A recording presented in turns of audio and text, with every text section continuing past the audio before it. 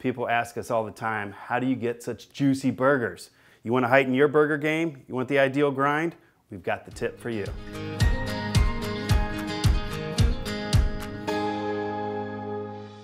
The options for ground beef are sometimes overwhelming in the grocery store, so let's help you kind of work your way through that.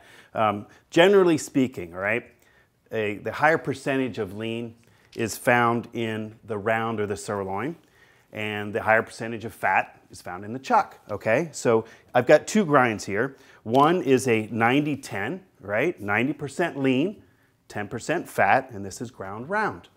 Uh, this is my go-to, right? So I'm about to spill the beans on the, the ideal burger. 80-20, right? So 80% lean and 20% fat. Go to 80-20 ground chuck every time for a perfect, juicy, certified Angus beef burger. Here's what that looks like in an 80-20. Take a look at the amount of fat percentage in there. 80-20, modest amount of fat, good amount of lean, juicy burger.